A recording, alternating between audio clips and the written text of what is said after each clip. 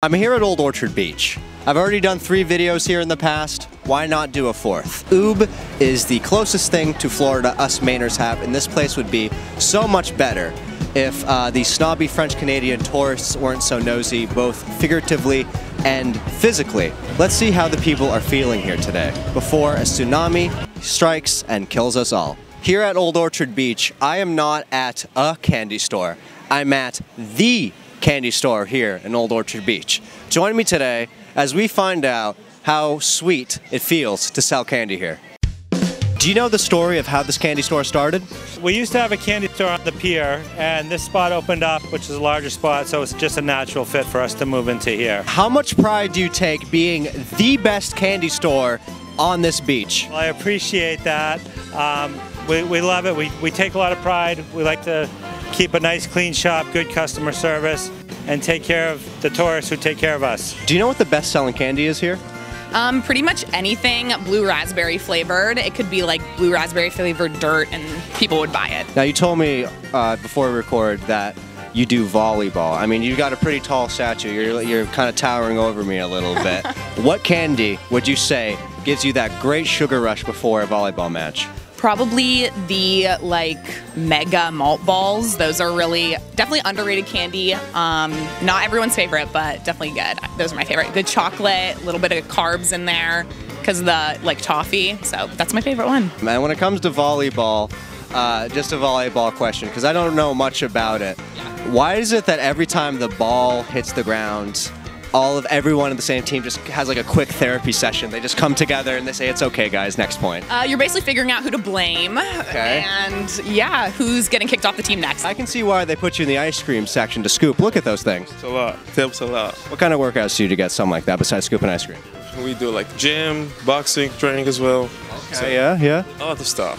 Nice. And this, I bet candy does not help when it comes to cutting weight to getting ready for boxing. Sure, for sure. America and candy just like They don't mix, but yet they try to. I, I feel like I have a pretty good offense, but when it comes to defense, I need to be good at slipping. What's the tip for slipping? you have to slip, you have to use your legs. So you have to always use your legs. You can't just slip with your arms and your body. You got all the body. Okay, Just so slip with it. Throw, throw a slow jab at me, and I'll try to. Let's go. Oh, good, good. Good. What is the secret to scooping some killer ice cream here? The biggest secret is just you have to do it very fast. Very fast. and strong. You go through all of it, make a good, nice scoop, get it out fast. Ah.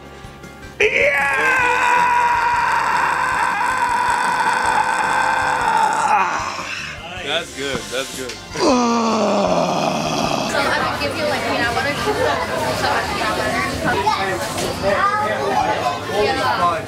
What is one candy that you love the most? Well, this is a candy that we get from Haven's Chocolates in Westbrook. It's called the Katahdin Crunch, and this is uh, toffee and caramel, and you have to absolutely try it. It's amazing. Oh my god. It was so good I dropped some. All right, so we have a shirt for you. Um, so you're now official at the candy store. Whenever you come here, you can work anytime. This is from Maine Maple Products in Madison, Maine. It's uh, some Maine blueberry jam, maple syrup, and wild blueberry honey. I wa- thank you so much, David. I, I'm so flattered. You definitely have to visit here, the candy store, not a candy store, the candy store at Old Orchard Beach. Thank you so much, David. Down like that.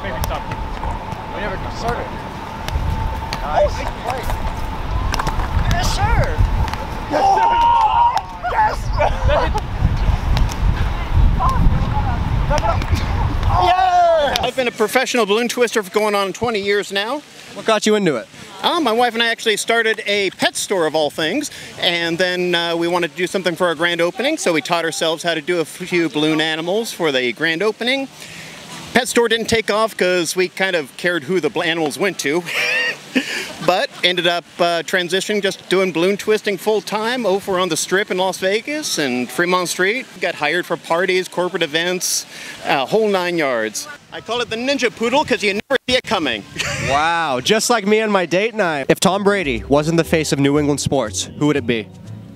Ooh. Well, Tom Brady is a traitor. I surmise he's not the face, but Jayson Tatum. Yeah, I would say JT or Brad Marchand. We can go with history. You can always think about Bill Russell or Larry Bird. So we can go back in time, not. Larry Bird, Larry Bird. For sure. Easily. But for currently, current, current, right this second, it would either be JT or Brad Marchand. I'm gonna say Larry Bird. Love that man. Um, I would say Rob. Yeah, I would say Oh, yeah, that's a he. good Yeah. I took a picture with him. He's Cute, Ashley. oh god, he is gorgeous. Rob, if you're watching this, Yeah. I'm your girl. Let us know. Call me. I think he's happy in Tampa. Uh, Randy Moss. Randy Moss, but he only played a couple seasons with New England. Yeah, but he still got the best career there. What is the worst personality trait someone can have? Ooh, being selfish. Unreliability. Like if you have someone put there as like your emergency contact and you call them and they don't answer and you're in a dire situation, that's unreliability and that's messed up. Well, look, he's in the middle of a game of Fortnite. Let him be. He plays Siege. Still, even more toxic. Please see, he's, if he's playing Siege with his friends, he doesn't pay attention to anything else. Oh no, he's trying to peek around every corner Yes. and try to wallbang people, then try to talk trash in group chat to all the 13 year olds. Gotta love Siege. Oh, ignorance is bliss. Yeah, I fucking hate somebody who's like ignorant because you're like, man, educate yourself. You live in ignorance, is America. Yeah, I know. Yeah, that's that's one thing I'm struggling with. You guys can still pay attention a little bit. Probably just their, you know, cockiness. Sometimes, like, especially with with women, sometimes take a look at them. It's like, uh, can you really be that cocky when you look like that? You know, it's just like I'd probably go with that. Peace out, guys. This is Haley, and this is my other friend Haley. Haley. We're out of here. Bye. Cheers. Will it work? Will it like go like to like a screen? I don't know.